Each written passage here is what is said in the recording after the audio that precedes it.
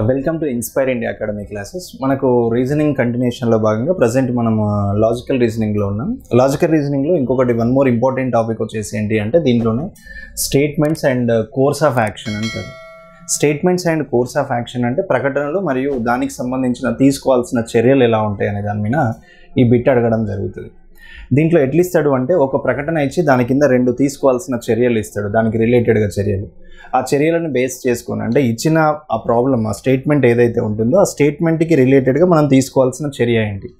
ఆ స్టేట్మెంట్ ఎప్పుడైనా కూడా ఒక ప్రశ్నార్థకంగా కానీ లేదు అని అంటే ఒక అనాలిసిస్ బేస్డ్ కానీ ఓకే ఏదైనా ప్రాబ్లమ్ని సాల్వ్ చేస్తున్నట్టు కానీ సో అట్లా ఉండడం జరుగుతుంది. సో దాన్ని బేస్ చేసుకొని ఇప్పుడు మనం వీటికి సంబంధించిన ఆన్సర్స్ ఫైండ్ అవుట్ చేయాల్సి ఉంటుంది.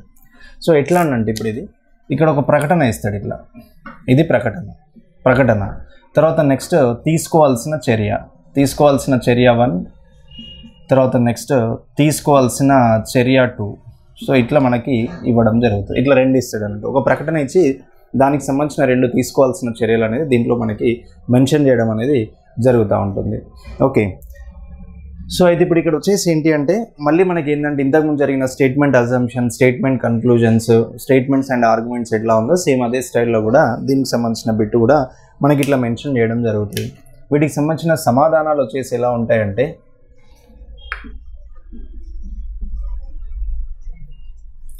రైట్ వీటికి సంబంధించిన సమాధానాలు. ఇక్కడ మనకి ఇప్పుడు చూడండి. చర్య వన్. ఓకే చర్య ఒకటి సరి అయితే. చర్య ఒకటి సరి అయినది అయితే సమాధానం ఏ అని. తర్వాత నెక్స్ట్ చర్య రెండు సరి అయినది అయితే సమాధానము బి అని. నెక్స్ట్ చర్య మూడు. ఇక్కడ చర్య మూడు లేదు. ఒకటి మరియు రెండు. ఓకే? చర్య ఒకటి మరియు రెండు. చర్య ఒకటి మరియు చర్య రెండు సరి అయినవి అయితే సమాధానం సి అని. సో చర్య ఒకటి లేదా చర్య రెండు సరి అయినవి అయితే సమాధానం డి అని. నెక్స్ట్ ఏది కానట్లయితే ఏది కానట్లయితే ఈ అని. సో ఇట్లా మనకి మెన్షన్ చేయడం అనేది జరుగుతూ ఉంటుంది. సమాధానాలు వాటికి సంబంధించిన ఆన్సర్స్. రైట్. ఓకే. చర్య ఒకటి సరి అయినది అయితే సమాధానం ఏ అని. చర్య రెండు సరి అయినది అయితే సమాధానం బి అని. చర్య ఒకటి మరియు చర్య రెండు సరి అయినవి అయితే సమాధానం సి అని. చర్య ఒకటి లేదా చర్య రెండు ఏదో ఒకటి సరి అయినది అయితే అంటే రెండిట్లో ఏదో ఒకటి సరి అయినది అయితే డి అని.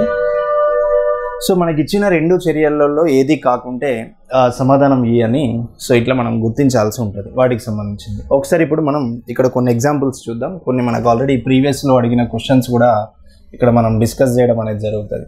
ప్రకటనలు మరియు వాటికి సంబంధించిన తీసుకోవాల్సిన చర్యలు ఎలా ఉంటుంది అనేది ఒకసారి చూద్దాం ఇక్కడ. రైట్ సో ఇక్కడ ఒక చిన్న బిట్ని కనుక మనం కన్సిడర్ చేసినట్లయితే ఒకటి ఒక ప్రకటన ఇవ్వడం జరిగింది. ఇక్కడ ఒక ప్రకటన ఇచ్చాడు. సో ఇది ప్రకటన. ఈ ప్రకటన వచ్చేసి ఏంటి అని అంటే రైట్ ఇక్కడ ఒక చిన్న కాన్సెప్ట్ ఇచ్చాడు. ప్రతి సంవత్సరం వేసవిలో ప్రతి సంవత్సరం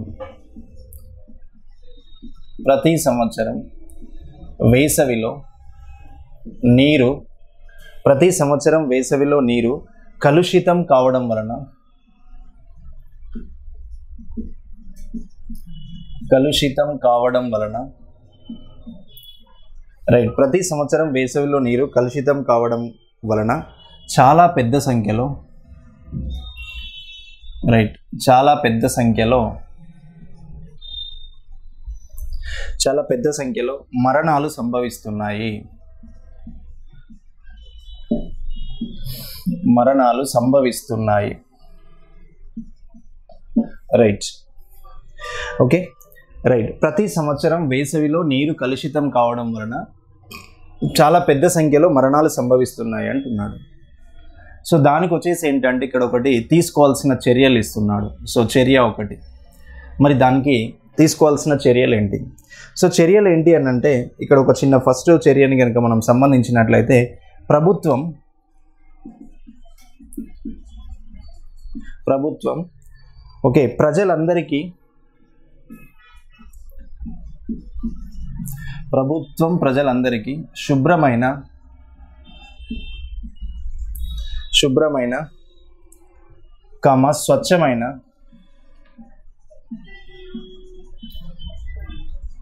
శుభ్రమైన కమ స్వచ్ఛమైన ఓకే స్వచ్ఛమైన నీటిని అందించుటకు నీటిని అందించుటకు నీటిని అందించుటకు తగు చర్యలు తీసుకోవాలి. తగు చర్యలు తీసుకోవాలి. రైట్. సో ఇట్లా ఒకటి ఇవ్వడం జరిగింది. ఇది చర్య వన్. తర్వాత నెక్స్ట్ మనకు సెకండ్ ఒక చర్య ఇవ్వడం జరిగింది. చర్య టూని కనుక మనం పరిశీలించినట్లయితే ప్రజలందరికీ ప్రజలందరికీ కలుషిత నీరు తాగడం వలన కలుషిత నీరు త్రాగటం వలన కలుషిత నీరు త్రాగటం వలన కలుగు వ్యాధుల గురించి చెప్పాలి. కలుగు. సో వ్యాధుల గురించి చెప్పాలి. రైట్. రైట్. చెప్పాలి అని అంటే కొన్ని సందర్భాల్లో దీన్ని ఇక్కడ ఇట్లా కూడా ఇస్తాడు. తెలియజెప్పాలి అంటాడు. సో తెలియజెప్పాలి రైట్. ఇట్లా మనకి బిట్టు మెన్షన్ చేయడం అనేది జరుగుతుంది. ఇది ప్రకటనలు మరియు వాటికి సంబంధించిన తీసుకోవాల్సిన చర్యలకు సంబంధించి ఒకసారి ఇక్కడ చూద్దాం. రైట్.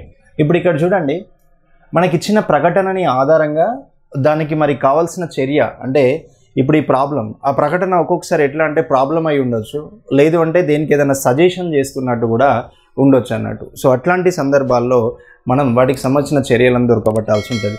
కాకపోతే ఏంటంటే మ్యాక్సిమంగా ఇక్కడ మనకు ఉండాల్సింది ఏంటంటే ఒక సమస్య ఉన్నప్పుడు సమస్యను సాల్వ్ చేయడానికి కావాల్సిన పరిష్కార మార్గాలు ఏవైతే ఉంటాయో ఆ పరిష్కార మార్గాలని మనం ప్రతిచర్య కింద దానికి తీసుకోవాల్సిన చర్య కింద కన్సిడర్ చేస్తాం. ఇప్పుడు ఒక దగ్గర ఒక ప్రాబ్లం ఉంది. ఫర్ ఎగ్జాంపుల్ ఇప్పుడు మనం అనుకున్నట్లయితే సో ఇప్పుడు మనం ఒక స్టడీ రూమ్లో ఉన్నాం. మనం ఎగ్జామ్స్కి ప్రిపేర్ అవుతున్నాం. అన్ఎక్స్పెక్టెడ్గా మన రూమ్లో ఉన్న ట్యూబ్ లైట్ అనేది పగిలిపోయింది.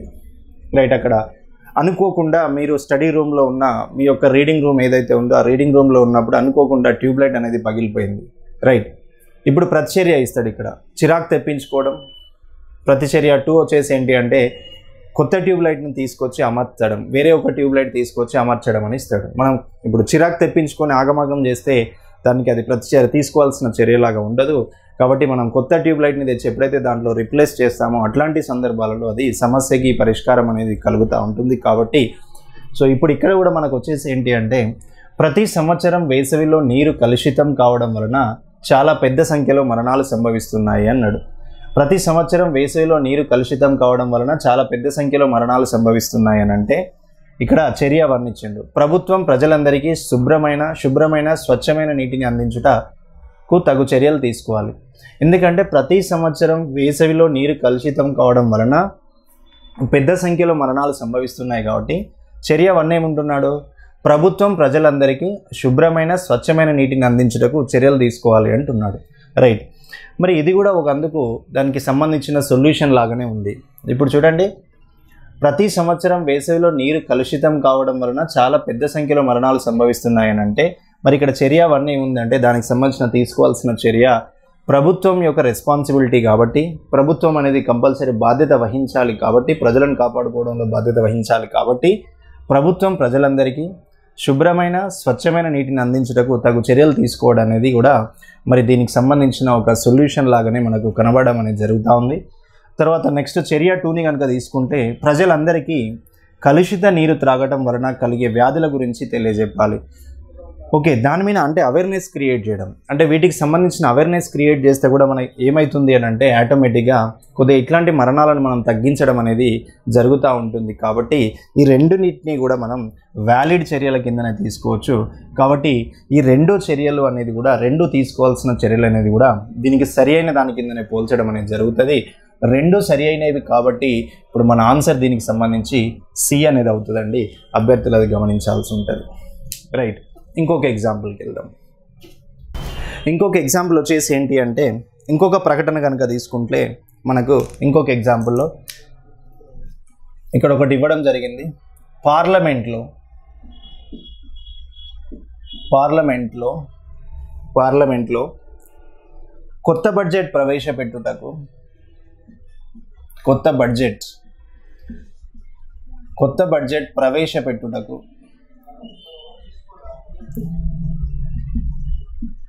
కొత్త బడ్జెట్ ప్రవేశపెట్టుటకు ఒక నెల ముందర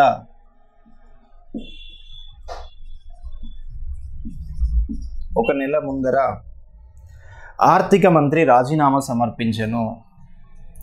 సో ఆర్థిక మంత్రి ఆర్థిక మంత్రి రాజీనామా సమర్పించెను.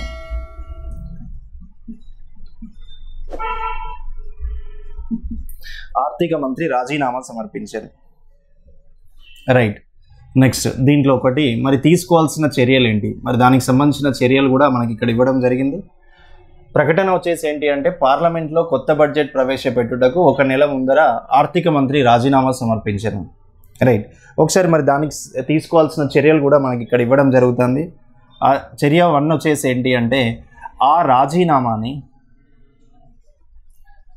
ఆ రాజీనామాని ఆమోదించి ఆ రాజీనామాని ఆమోదించి వేరే వ్యక్తిని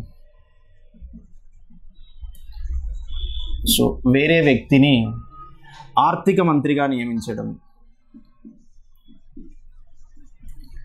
ఆర్థిక మంత్రిగా నియమించడం. సో ఇదొక సొల్యూషన్ అన్నట్టు. ఆ రాజీనామాని ఆమోదించి వేరే వ్యక్తిని ఆర్థిక మంత్రిగా నియమించడం. సో తర్వాత నెక్స్ట్ చర్య టూకి సంబంధించి. సో ఇక్కడ ఒకసారి చర్య టూ చూద్దాం. ఆ రాజీనామాని సో ఆ రాజీనామాని ఆమోదించకూడదు. సో కూడదు. రైట్. సో ఇక్కడ మనకి ఇక్కడ రెండు చర్యలు ఇచ్చాడు. ఇప్పుడు ఒకసారి దీనికి సంబంధించిన ఆన్సర్ ఎట్లా ఉంటుంది అనేది కూడా ఒకసారి దీంట్లో పరిశీలించుదాం. మనకి ఇచ్చిన ప్రకటన వచ్చేసి ఏంటి అంటే పార్లమెంట్లో కొత్త బడ్జెట్ ప్రవేశపెట్టుటకు ఒక నెల ముందర ఆర్థిక మంత్రి రాజీనామాను సమర్పించిండు. అంటే మనకు బడ్జెట్ ఇంప్లిమెంట్ చేయడానికి పార్లమెంట్లో బడ్జెట్ ఇంప్లిమెంట్ చేయడానికి ఒక నెల ముంగట ఏమైంది అంటే దానికి సంబంధించిన ఫైనాన్స్ మినిస్టర్ ఎవరైతే ఉన్నారో ఆ ఫైనాన్స్ మినిస్టర్ ఏం చేసిండు అంటే రాజీనామాని సమర్పించడం అనేది జరిగింది. మరి ఇప్పుడు దానికి ఇమీడియట్గా తీసుకోవాల్సిన చర్యలు ఏంటి రైట్. ఇప్పుడు చర్య వన్ వచ్చేసి ఏంటి అంటే ఆ రాజీనామాని ఆమోదించి వేరే వ్యక్తిని ఆర్థిక మంత్రిగా నియమించడం. తర్వాత చర్య టూ వచ్చేసి ఆ రాజీనామాని ఆమోదించకూడదు అన్నాడు. అయితే ఇక్కడ ఒక చిన్న పాయింట్ మనం గమనించాల్సింది ఏంటి అంటే చాలామంది కొద్దిగా చర్య వన్కి ఆన్సర్ ఇచ్చే ఛాన్స్ ఎక్కువ ఉంటుంది. ఎందుకు అని అంటే సరే మనకు పార్లమెంట్లో బడ్జెట్ ఇంప్లిమెంట్ చేయడానికి చాలా టైం ఉంది బడ్జెట్ ప్రవేశపెట్టడానికి చాలా టైం ఉంది అంటేనేమో ఆ రాజీనామాని ఆమోదించి వేరే వ్యక్తిని నియమించవచ్చు. రైట్. కానీ ఇక్కడ ఏమైంది అని అంటే మనకు పార్లమెంట్లో బడ్జెట్ ప్రవేశపెట్టడానికి కరెక్ట్గా నెల ముంగట అంటున్నాడు. ఒక నెల ముందర అన్నాడు. ఇప్పుడు నెల ముందర రాజీనామాను సమర్పించండి ఇప్పుడు అతను రాజీనామాని యాక్సెప్ట్ చేసి వేరే పర్సన్ని కనుక మనం నియమించినట్లయితే మళ్ళీ అతనంతా దాని మీద కొత్త వ్యక్తి అవేర్నెస్ తీసుకొని మళ్ళీ దానికి సంబంధించిన బడ్జెట్ దానికి ప్రిపేర్ చేసి మళ్ళీ సబ్మిట్ చేయడానికి టైం టేకింగ్ ప్రాసెస్ ఉంటుంది. ఒక నెలలోపు అతనికి ఆ డిపార్ట్మెంట్ మీద అవేర్నెస్ రాదు కాబట్టి మనం చర్య వన్ని కరెక్ట్గా తీసుకోలేము. తర్వాత ఇప్పుడు ఏ రకంగా చూసినా కూడా ఈ పార్లమెంట్ సమావేశాలు అయిపోయేంత వరకు ఆ రాజీనామాని ఆమోదించకూడదు. ఈ పార్లమెంట్ సమావేశాలు అయిపోయేంత వరకు అతనే మంత్రిగా కొనసాగాలి కాబట్టి ఇప్పుడు చర్య టూ అనేది కరెక్ట్ ఆన్సర్ కింద మనం కరెక్ట్ కన్సిడర్ చేయొచ్చు. ఆ రాజీనామాని ఆమోదించకూడదు. అంటే చర్య టూ అనేది ఇప్పుడు దీనికి ఒక సొల్యూషన్లా కనబడినట్లయితే ఆ చర్య టూ సరి అయినది అయితే మన ఆన్సర్ ఏమవుతుందండి ఇప్పుడు అక్కడ? సో బి అనేది రైట్ ఆన్సర్ అవుతుంది. సో మనం బీని టిక్ చేయాల్సి ఉంటుంది అది. సో అదొకటి. తర్వాత ఇంకొక ఎగ్జాంపుల్కి వెళ్దాం. ఇంకొక ఎగ్జాంపుల్ని కనుక కన్సిడర్ చేసినట్లయితే ఇంకొక ఎగ్జాంపుల్లో ప్రకటన వచ్చేసి ఏంటి అంటే అభివృద్ధి చెందుతున్న దేశాల నగరాలలో సో అభివృద్ధి చెందుతున్న అభివృద్ధి చెందుతున్న దేశాల నగరాలలో అభివృద్ధి చెందుతున్న దేశాల నగరాలలో ఐదు సంవత్సరాల లోపు ఐదు సంవత్సరాల లోపు పిల్లలు ఐదు సంవత్సరాల లోపు పిల్లలు ఎక్కువగా ఐదు సంవత్సరాల్లో పిల్లలు ఎక్కువగా డయేరియా మరియు సో డయేరియా అన్నాడు. డయేరియా మరియు మరియు కడుపులో నులి పురుగుల వ్యాధితో మరణిస్తున్నారు. సో కడుపులో నులి పురుగుల వ్యాధితో ను- నులి పురుగుల వ్యాధితో మరణిస్తున్నారు. రైట్ సో ఇది మనకిచ్చిన ఆన్సర్ అది ప్రకటన. అభివృద్ధి చెందుతున్న దేశాల నగరాలలో ఐదు సంవత్సరాల లోపు పిల్లలు ఎక్కువగా డయేరియా మరియు కడుపులో నులి పురుగుల వ్యాధితో మరణిస్తున్నారు అని మనకు ఒక ప్రకటన ఇవ్వడం జరిగింది. మరి దానికి సంబంధించిన చర్యలు ఎలా ఉన్నాయనేది కూడా ఒకసారి చూద్దాం. సో ఇక్కడ చర్య వన్ని కనుక మనం పరిశీలించినట్లయితే చర్య వన్ వచ్చేసి అభివృద్ధి చెందుతున్న నగరాలలో ఇక్కడ అభివృద్ధి. సో అభివృద్ధి చెందుతున్న నగరాలలో అభివృద్ధి చెందుతున్న నగరాలలో ప్రభుత్వం అభివృద్ధి చెందుతున్న నగరాలలో ప్రభుత్వం తక్షణమే తక్షణమే పరిశుభ్రత మెరుగుపరిచేందుకు తక్షణమే పరిశుభ్రత పరిశుభ్రత మెరుగుపరిచేందుకు తక్షణమే పరిశుభ్రత మెరుగుపరిచేందుకు సరి అయిన చర్యలు తీసుకోవాలి. సరి అయిన చర్యలు తీసుకోవాలి. రైట్. అభివృద్ధి చెందుతున్న నగరాలలో ప్రభుత్వం తక్షణమే పరిశుభ్రత మెరుగుపరిచేందుకు సరి అయిన చర్యలు తీసుకోవాలి. తర్వాత నెక్స్ట్ చర్య టూకి వెళ్దాం. ఒకసారి మరి చర్య టూకి సంబంధించి ఎలా ఉంటుంది అనేది ఎందుకంటే ఇట్లాంటి క్వశ్చన్స్ మీరు ప్రీవియస్గా జరిగిన ఎస్ఐ మెయిన్స్ ఎగ్జామ్స్ని కనుక మనం అబ్జర్వ్ చేస్తే ఎక్కువ క్వశ్చన్స్ మనకు ఇట్లాంటి లాజికల్ రిలేటెడ్ రీజనింగ్ నుంచి మాత్రమే బిట్స్ ఇవ్వడం జరిగింది. మీరు కావాలంటే ఎస్ఐ ప్రీవియస్ పేపర్ మెయిన్స్ని అబ్జర్వ్ చేయొచ్చండి. నెక్స్ట్ చర్య టూ వచ్చేసి ఏంటి అంటే అభివృద్ధి చెందుతున్న దేశాల నగరాలలోని సో అభివృద్ధి చెందుతున్న అభివృద్ధి చెందుతున్న దేశాల నగరాలలోని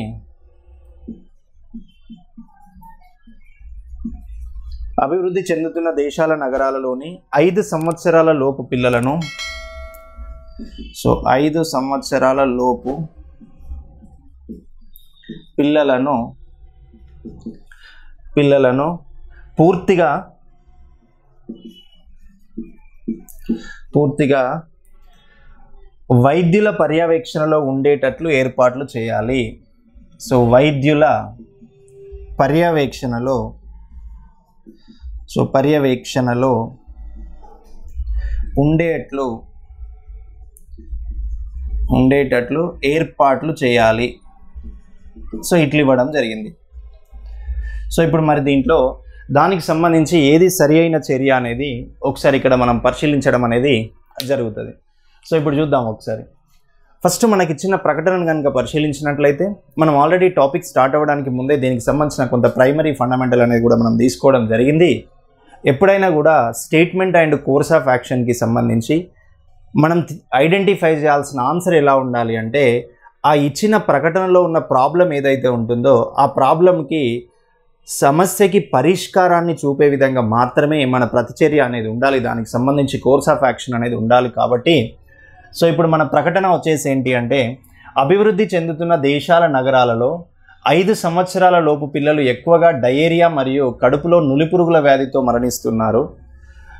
చర్య వన్ వచ్చేసి ఏంటి అంటే అభివృద్ధి చెందుతున్న నగరాలలో ప్రభుత్వం తక్షణమే పరిశుభ్రత మరియు ఓకే పరిశుభ్రత మెరుగుపరిచేందుకు సరి అయిన చర్యలు తీసుకోవాలి. చర్య టూ వచ్చేసి ఏంటి అంటే అభివృద్ధి చెందుతున్న దేశాల నగరాలలోని ఐదు సంవత్సరాల లోపు పిల్లలను పూర్తిగా వైద్యుల పర్యవేక్షణలో ఉండేట్లు ఏర్పాట్లు చేయాలి. మరి ఇప్పుడు దీంట్లో ఏ చర్య అనేది దానికి సమస్యను పరిష్కరిస్తుంది అనేది ఇప్పుడు ఇక్కడ పెద్ద కాంప్లికేటెడ్ క్వశ్చన్ ఒకసారి చూద్దాం. అయితే ఇక్కడ అభివృద్ధి చెందిన దేశాలు అంటే డెవలపింగ్ కంట్రీస్ ఏవైతే ఉన్నాయో అక్కడ బా అది దాంట్లో అసలు సమస్య ఏంటంటే ఐదు సంవత్సరాల్లో పిల్లలకి ఎక్కువ డయేరియా కడుపులో ఉన్న నులి పురుగుల వ్యాధితో ఏం చేస్తానంటే చనిపోవడం అనేది జరు జరుగుతూ ఉంది మరణిస్తున్నారు ఎక్కువగా. రైట్. అయితే మరి ఇప్పుడు తీసుకోవాల్సిన చర్య వచ్చేసి ఏంటి అంటే అభివృద్ధి చెందుతున్న ఒకసారి మనం చర్య వన్ని క్లియర్గా పరిశీలించుదాం. చర్య వన్ వచ్చేసి అభివృద్ధి చెందుతున్న నగరాలలో ప్రభుత్వం తక్షణమే పరిశుభ్రత మెరుగుపరిచేందుకు సరి అయిన చర్యలు తీసుకోవాలి. దీన్ని ఒక రకంగా సొల్యూషన్ కిందనే మనం కన్సిడర్ చేసుకోవచ్చు. ఎందుకంటే అక్కడ ప్రాబ్లం అవుతుంది. చాలామంది చిన్నపిల్లలు అనేది కూడా ఐదు సంవత్సరాల లోపు వారు ఎక్కువగా చనిపోతున్నారు. మరి దానికి సంబంధించిన ఏమైనా పరిశుభ్రతకు సంబంధించినది కానీ మెరుగుపరిచేందుకు చర్యలు తీసుకోవడం అనేది కూడా ఒక గవర్నమెంట్ రెస్పాన్సిబిలిటీ అనేది ఉంటుంది కాబట్టి ఈ చర్య వన్నుని కూడా మనం సమర్థించవచ్చు ఈ చర్య వన్ అనేది కూడా మనకు సొల్యూషన్ లాగానే ఉంటుంది. ఒకసారి అట్లనే మనం చర్య టూని కనుక మనం పరిశీలించినట్లయితే అభివృద్ధి చెందుతున్న దేశాల నగరాలలోని ఐదు సంవత్సరాల లోపు పిల్లలను పూర్తిగా వైద్యుల పర్యవేక్షణలో ఉండేటట్లు ఏర్పాట్లు చేయాలి. సో ఇది చర్య టూ అనేది కూడా దానికి మనం సమర్థించే విధంగానే ఉంటుంది. ఎందుకంటే ఐదు సంవత్సరాల్లో పిల్లలు ఎక్కువ చనిపోతాను డయేరియా మరి కరడు కడుపులో నులిపురుగుల వ్యాధితో చనిపోతాను కాబట్టి అభివృద్ధి చెందిన దేశాలలో ఐదు సంవత్సరాల్లో పిల్లలని ఒకవేళ వైద్యుల పర్యవేక్షణలో కనుక మనం ఉంచినట్లయితే పూర్తిగా నివారించవచ్చు. ఒకవేళ లేకున్నా కూడా కొంతవరకు ఆ మరణాల స్థాయిని అనేది కూడా మనం తగ్గించే అవకాశం ఉంటుంది. కాబట్టి మనకు చర్య టూ అనేది కూడా దీనికి సంబంధించిన సొల్యూషన్ పరిష్కారం లాగానే ఉంటుంది. కాబట్టి మనం చర్య టూతోని కూడా ఏకీభవించవచ్చు. అంటే ఇప్పుడు మనం చర్య వన్ని ఏకీభవిస్తున్నాం చర్య టూని ఏకీభవిస్తున్నాం. అంటే రెండు కూడా దీనికి సొల్యూషన్ లాగానే ఉంటున్నాయి. కాబట్టి రెండు చర్యలు కనుక మనకు సరి అయినవి అయినట్లయితే మన సమాధానం ఏంటంటే ఇప్పుడు అది?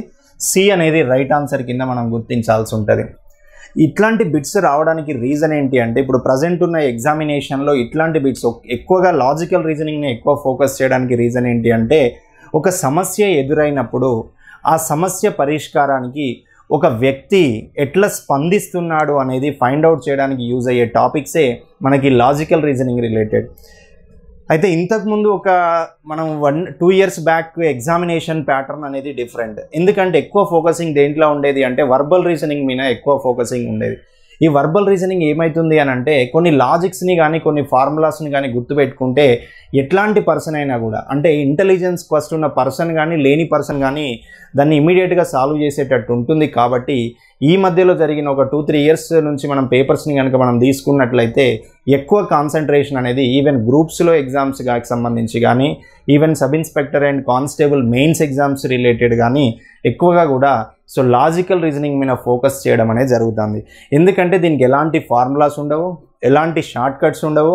ఒక వ్యక్తి ఎట్లా స్పందిస్తాడో అతను అర్థం చేసుకునే విధానం ఏంటి అతని మైండ్ సెట్ ఏంటి అనే దాన్ని బేస్ చేసుకొని మాత్రమే ఈ క్వశ్చనింగ్ ఉంటుంది. అభ్యర్థులు చాలా క్లియర్గా మీరు అబ్జర్వ్ చేసి క్షుణ్ణంగా పరిశీలించి ఒక త్రీ సిక్స్టీ డిగ్రీస్లో ఒక ప్రాబ్లం మీద మీకు అవేర్నెస్ ఉన్నప్పుడు మాత్రమే ఇలాంటి క్వశ్చన్స్ని సాల్వ్ చేసే అవకాశం ఉంటుంది. అభ్యర్థులు చాలా జాగ్రత్తగా ప్రిపేర్ అవ్వాల్సి ఉంటుంది.